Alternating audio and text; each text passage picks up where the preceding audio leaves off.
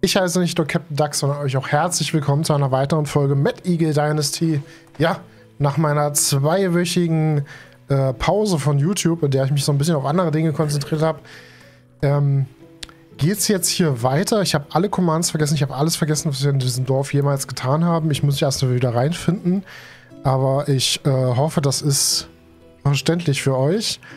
Und äh, ich gucke mal, was, was wir jetzt noch so machen können, was äh, noch gemacht werden muss. Und damit wünsche ich euch viel Spaß bei dieser Folge. Let's go. Du bist schmutzig. Ich sollte mich erstmal waschen. Ich, ich sehe aus. Guckt euch das an. Da. Wie dreckig ich bin. So, jetzt sind wir wieder sauber. Trinken wir noch was? Top. Sehr gut. Ich gucke noch mal ganz schnell. Wir haben da oben fünf Probleme. Jetzt nicht mehr jetzt gerade Feierabend. Aber ich gucke trotzdem mal in der Verwaltung. Was haben wir denn gerade für Probleme? Die Mine hat kein Werkzeug. ETF. Echt nicht? Okay. Das sollten wir beheben. Ansonsten sieht es ganz gut aus. Hier fehlen Ressourcen in der Näherei und in der Scheune, also wie immer. Aber Mine hat kein Werkzeug. Äh, das, das sollten wir fixen. Es war ja das Problem, dass wir dass wir zwar schon Eisenerz abbauen, aber damit nichts herstellen können weil äh, uns die, die Punkte fehlen, die Technologiepunkte dafür. Also müssten wir, wir müssten äh, aus Bronzebarren, müssten die Spitzhacken bauen, ne?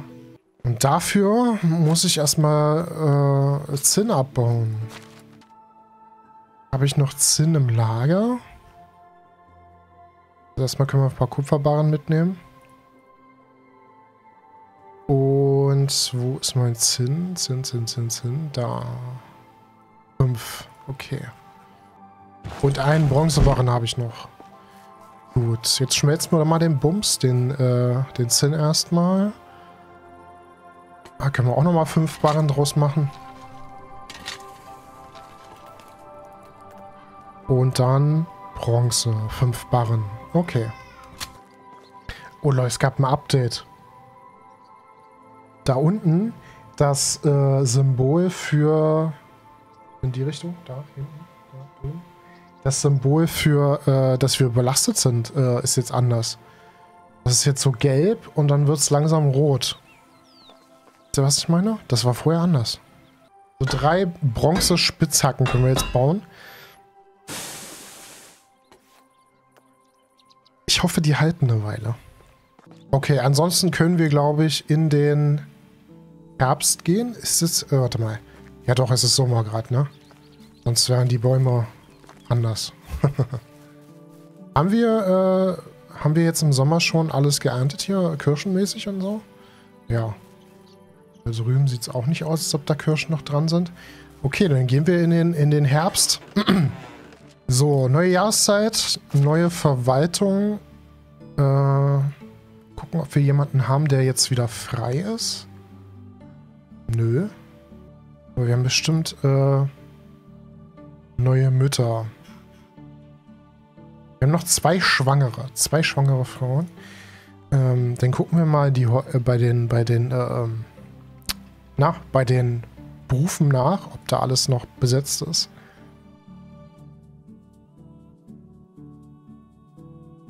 Im Holzschuppen fehlt einer. Weiß nicht, ob das schon vorher der Fall war. Grabungsschuppen haben wir ja stillgelegt. Das ist so okay.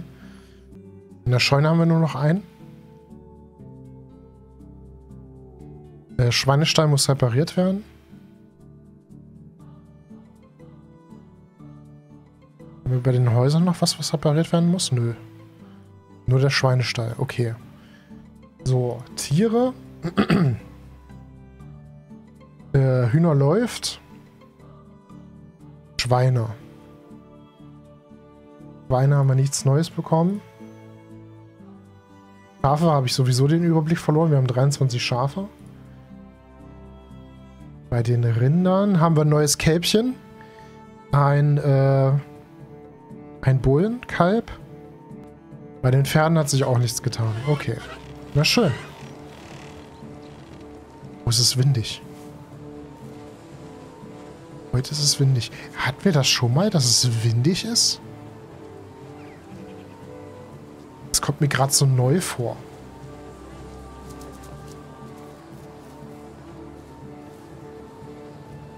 Windig kommt mir gerade so neu vor. Ähm genau, wir müssen den Schweinestall reparieren. Aber ich gucke erstmal auf die Felder, ob da alles geklappt hat.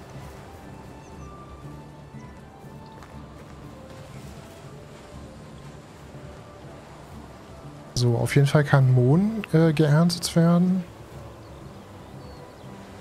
Äh, hier muss noch gepflügt werden. Weizen. Aber sieht ganz gut aus. Der Hafer hat auf jeden Fall gut geklappt. Wir können nochmal Kohl ernten. Ja, doch, sieht doch gut aus. Sieht doch gut aus. Also das kommt mir neu vor, dass das windig ist. Hatten wir das schon vorher? Könnt ihr mal in die Kommentare schreiben. Oder kam das jetzt mit einem Update? Also dieser, dieser Sound auf den Ohren ist auch ein bisschen, bisschen nervig, muss ich gestehen. So, hier mal ein Loch im Dach. Okay. Wir können mal wieder Kaki einsammeln, ne?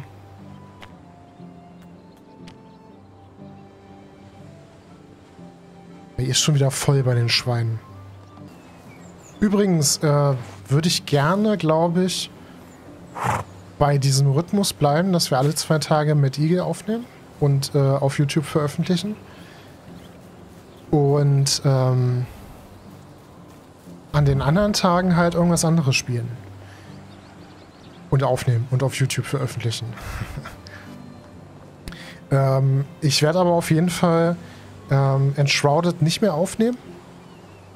Vielleicht noch eine Folge, in der ich so ein bisschen was zeige. Äh, weil ich in der Zeit, in den zwei Wochen jetzt, äh, natürlich auch ein Game gebraucht habe, was ich, was ich so zocke, ne? Was ich so zum, zum Runterkommen. Und da habe ich, habe ich äh, leider sehr viel Enshrouded gespielt. Und das Spiel richtig schön lieb gewonnen. Äh, allerdings bin ich an einem Punkt in dem Spiel, wo ich sage, okay, da können wir jetzt nicht nochmal mit der Aufnahme reinstarten, weil ich eigentlich schon im Endgame bin, sage ich jetzt mal. Da hab, haben wir jetzt zu viel verpasst und so. Und irgendwie ist es auch ein Game, wo ich sage, dass das, da habe ich keine Lust auf Aufnahme oder so. Das, das spielt lieber für mich so ganz in Ruhe, ne? Ähm, deshalb suche ich gerade noch so ein bisschen ein Game, was wir abwechselnd zu Mad Eagle spielen können.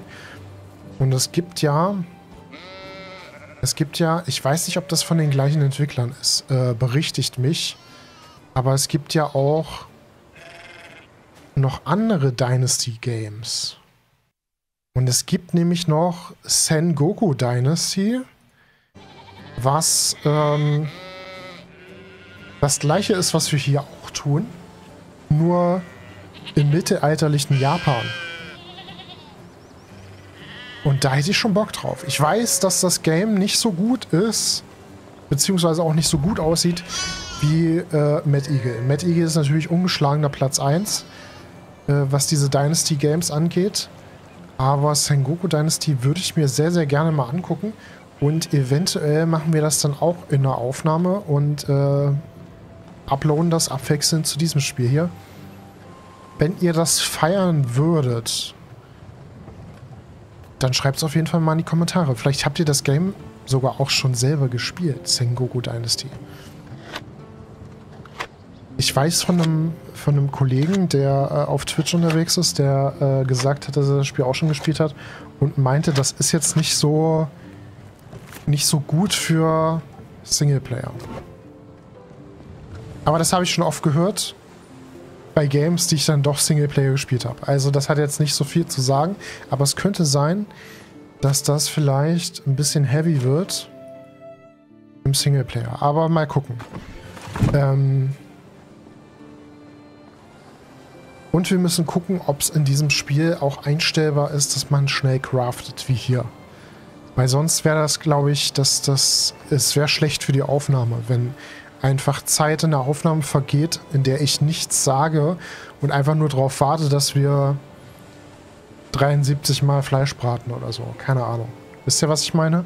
Das ist natürlich äh, verlorene Zeit so ein bisschen.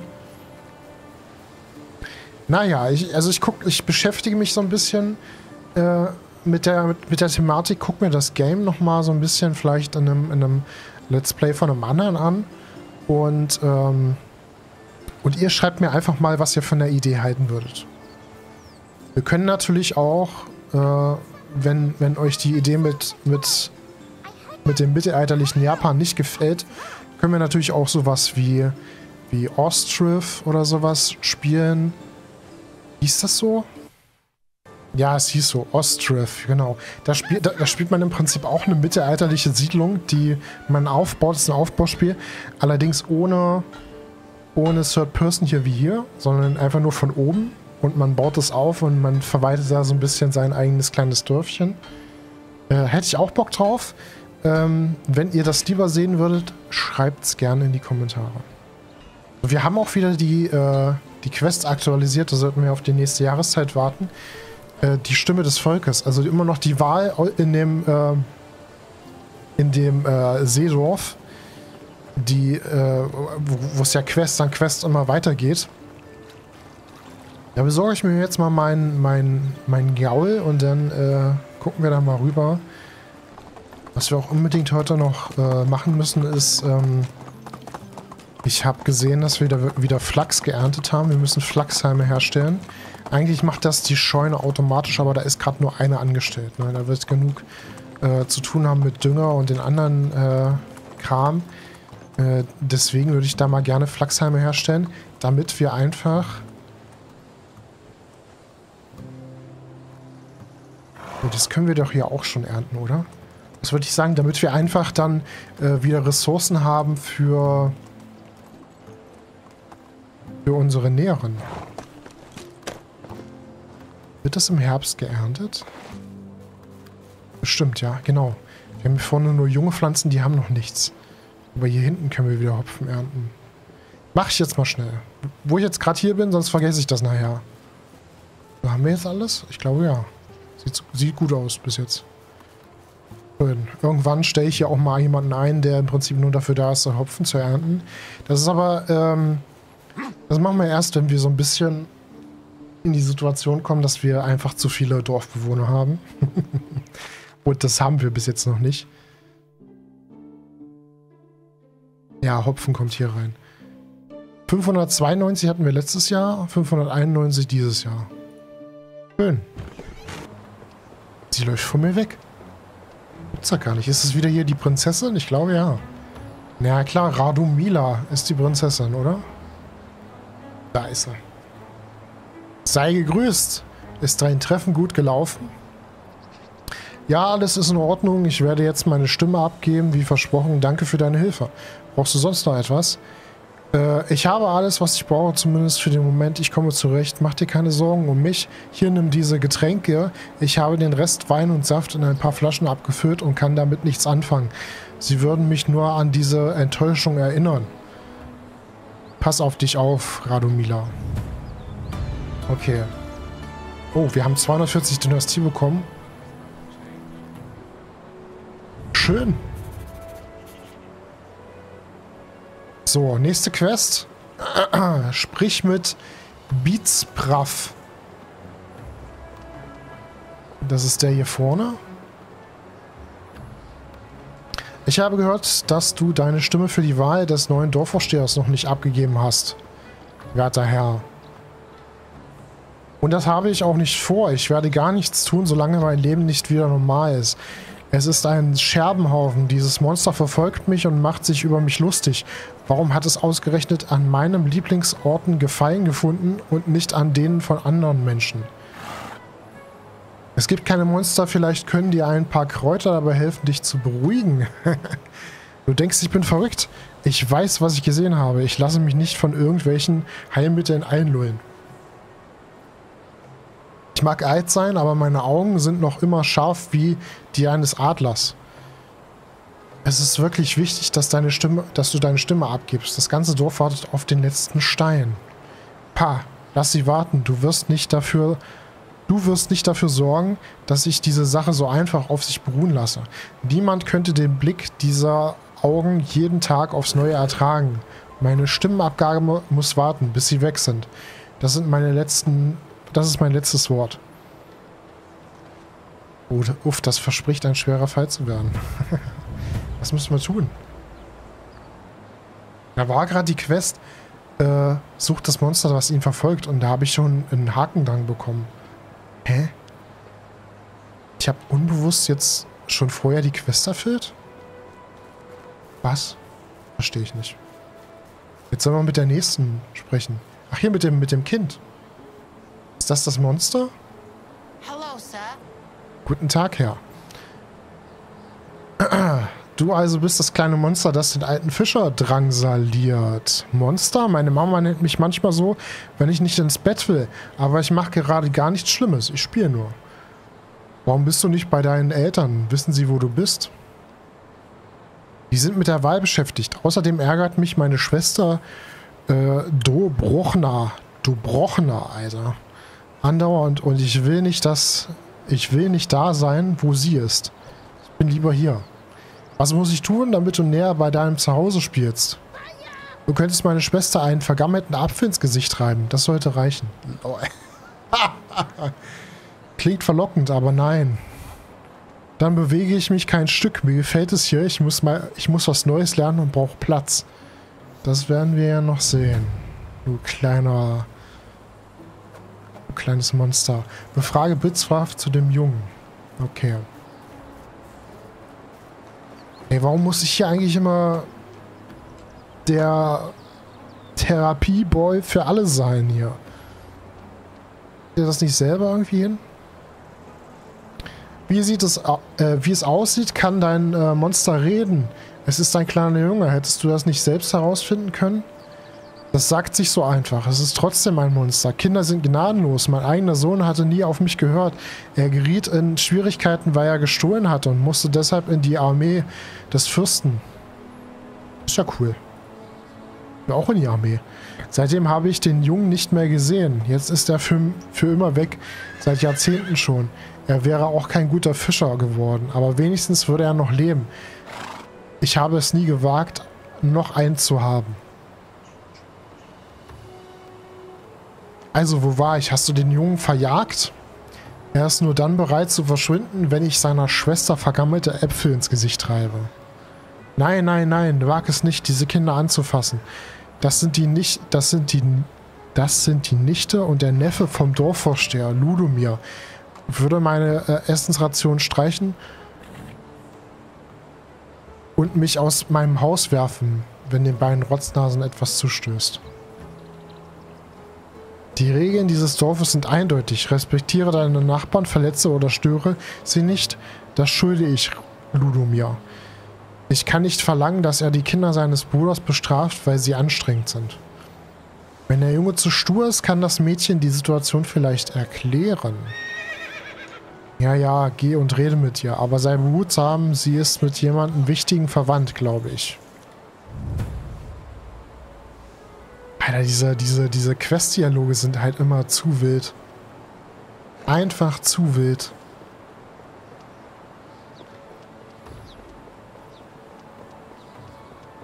So, jetzt sollen wir mit, mit Dro Dobrochna reden. Alter, was hat die denn für einen hässlichen Namen?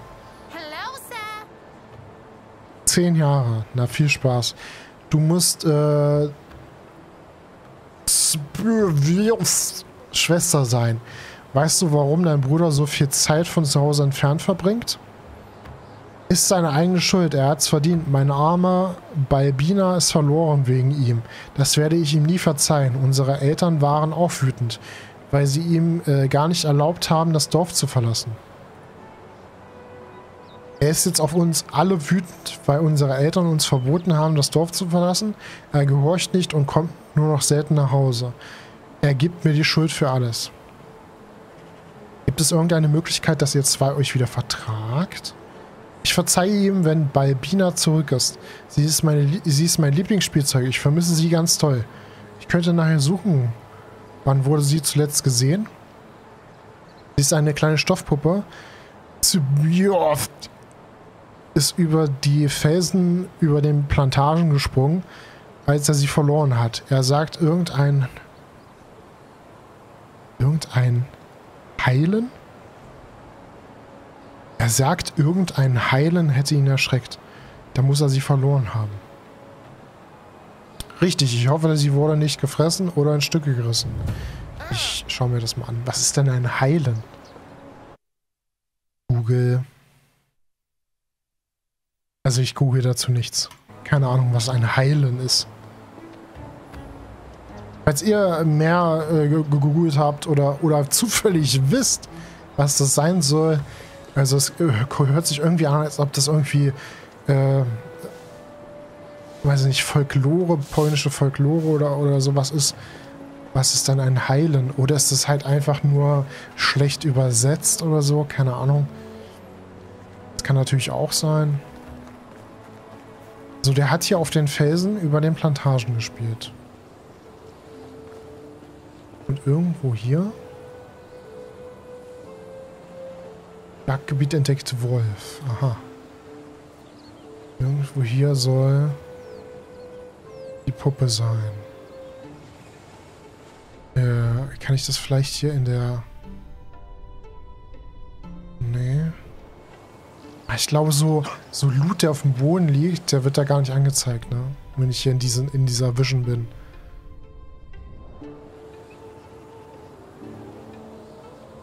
Ach, hier, guck mal.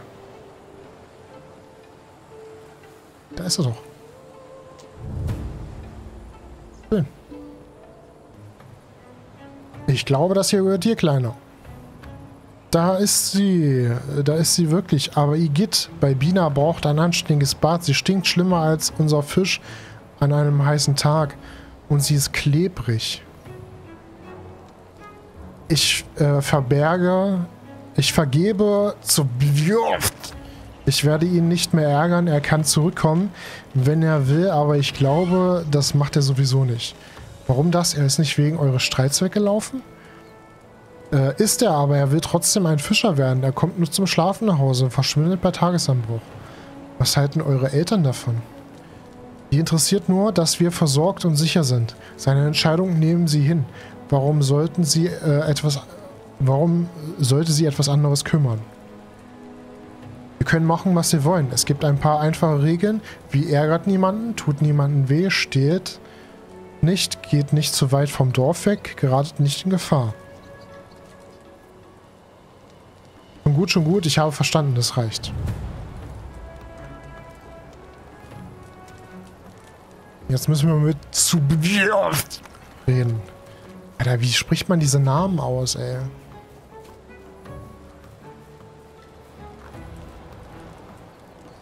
Da ist er. Steht im Wasser und fischt. Ich habe die Puppe deiner Schwester gefunden. Sie ist dir nicht mehr böse. Ist das wirklich wahr? Du hast das Unmögliche geschafft. Ich war sicher, sie wäre im Bauch von einem Wolf gelandet. Vielen Dank. Ich kann wieder mit meiner Schwester spielen. Sie ist nicht nachtragen. Du kannst endlich nach Hause zurückkehren. Aber ich will nicht in meinen Alltag zurückfischen, ist viel interessanter als das Arbeiten auf den Feldern und den Plantagen. Das werden deine Eltern entscheiden. Aber denen ist das doch egal. Sie finden sicher jemand anderen, der meine Arbeit übernehmen kann. Ich will einfach nur ein Fischer sein. Das ist meine neue Bestimmung. Ich dachte, es würde reichen, wenn ich den alten Fischer nachmache. Aber es ist wirklich schwierig.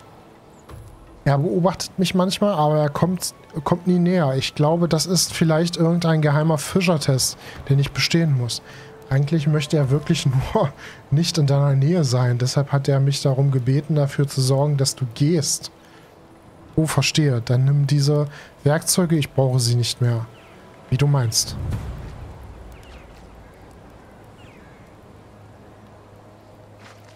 Okay. Jetzt hat er keinen Bock mehr, Fischer zu sein, weil der richtige Fischer keinen Bock auf ihn hat. Auch ein bisschen traurig, ne? Auch ein bisschen traurig, finde ich. So, jetzt, äh, jetzt äh, sprechen wir nochmal mit Beats Brav. Der Junge wird dein Liebling, deine Lieblingssorte nicht länger aufsuchen. Deine Lieblingsorte.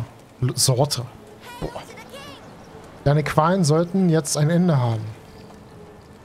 Das ist Musik in meinen Ohren. Tausend Dank, ich kann endlich zum Tagesgeschäft zurückkehren. Ich habe ohnehin schon genug Zeit verschwendet. Du scheinst ein Händchen für Kinder zu haben. Ich hätte keinen besseren für die Aufgabe finden können. Es ist nicht schwer, man muss nur zuhören. Er hat mir einfach etwas von seiner Ausrüstung zurückgegeben. Was meinst du damit? Gestohlen hat er auch noch? Warte, das gehört mir nicht. Diese Angelausrüstung ist winzig, wie für ein Kind gemacht. Dann hat er sie wahrscheinlich selbst gemacht. Der Junge hat darüber nachgedacht, Fischer zu werden. Deshalb hat er dir so, so genau zugesehen. Er wollte nur lernen? Ich muss ihn zurückholen. Sag ihm, er soll zurückkommen. Ich muss mit ihm reden. Gerade hast du noch, hast du mir noch gesagt, er soll, ich soll ihn loswerden. Mein Teil ist getan. Jetzt bist du selbst an der Reihe. Richtig, natürlich. Ich werde meinen Teil tun und sofort abstimmen, wie besprochen, äh, wie versprochen. Und kümmere dich nicht weiter äh, um Zubirft. Ich rede äh, selbst mit ihm. Er scheint etwas äh, anders zu sein als die anderen Kinder in seinem Alter. Das ist er wirklich. Ich glaube, ihr beide könntet euch gut verstehen. Alter. Ich quatsch schon wieder zu viel. Erstatte Bruno mir Bericht.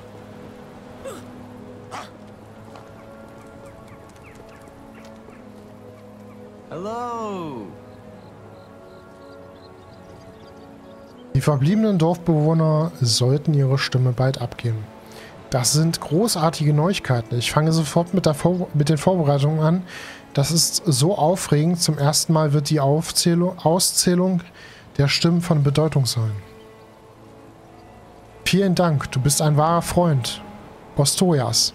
Besuche uns äh, in der nächsten Jahreszeit wieder, um die Ergebnisse der Wahl zu erfahren. Ich bin froh, dass ich helfen konnte. Wir sehen uns dann. Okay, warte bis zur nächsten Jahreszeit. Wie immer. Erstmal reite ich jetzt zurück, weil es ist schon spät. Und ich muss ins Bett. Meine Frau vermisst mich schon.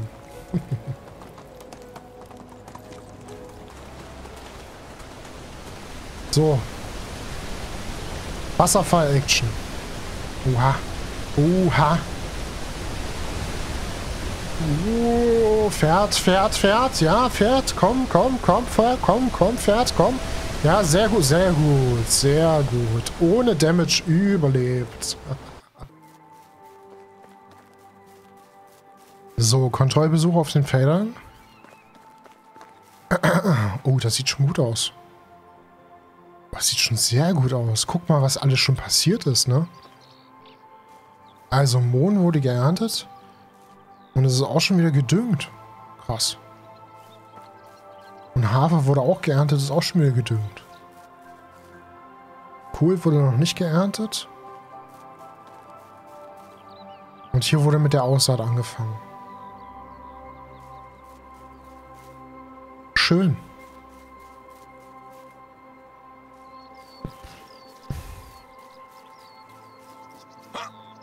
Stimmt, ich wollte äh, äh, Lein, äh, hier, ähm, Flachs, Flachs äh, dreschen.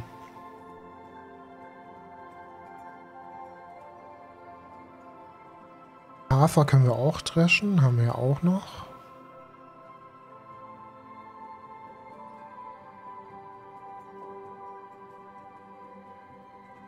Mohn können wir auch dreschen.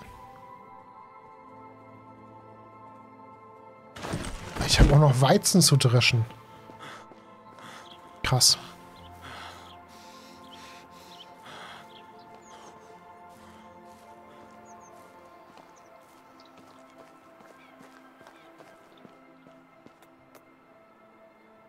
So, erstmal den Mohn.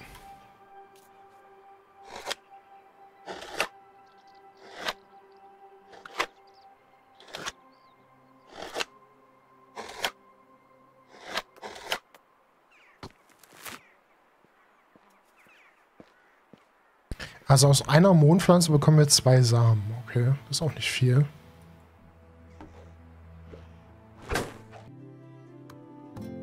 So, und Weizen hatten wir noch, ne? Das muss ich auch noch dreschen. Weizen, Weizen. 931 Weizen. Na, das, das wird ein bisschen was geben.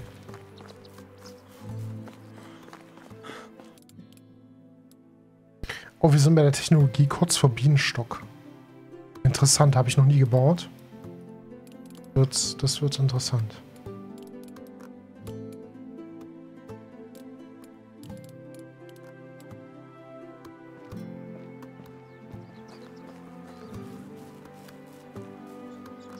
Dürfen wir uns noch einen, einen Ort aussuchen, wo wir Bienenstöcke aufstellen. Am besten irgendwo, wo es auch blüht, ne? Damit das Ganze auch optisch so einen, so so einen Sinn macht.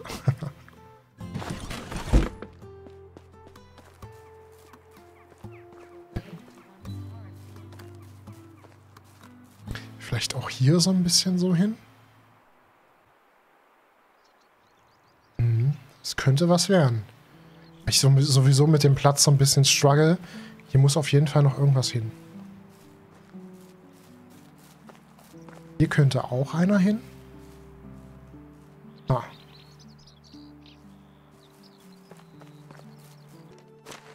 Also wir haben jetzt schon eine Menge Weizenbrote gebacken. Ich nehme mal ein paar mit zum Essen. Für mich. So ein ganzes Brot macht bestimmt auch heftig satt. Ja, einmal auf 100.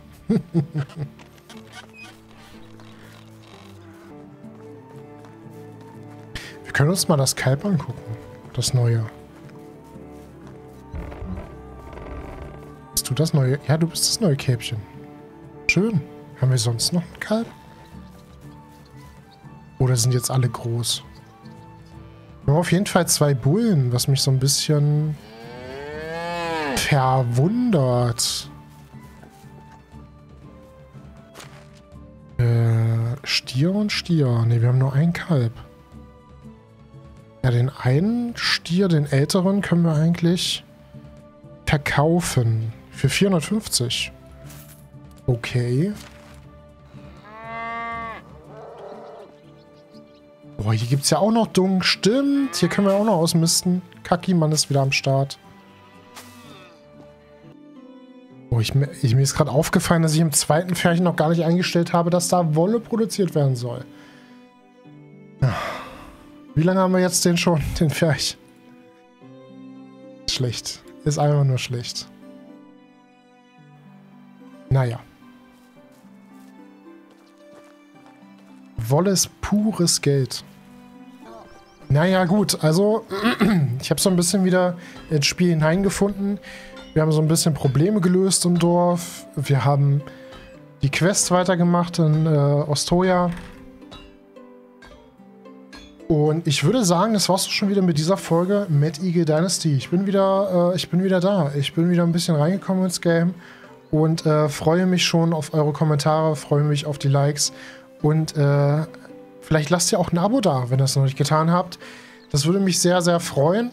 Ansonsten sehen wir uns im nächsten Video und ich wünsche euch eine schöne Woche, ein schönes Wochenende, je nachdem, wenn ihr das Video schaut. Macht's gut und bis dann. Ciao.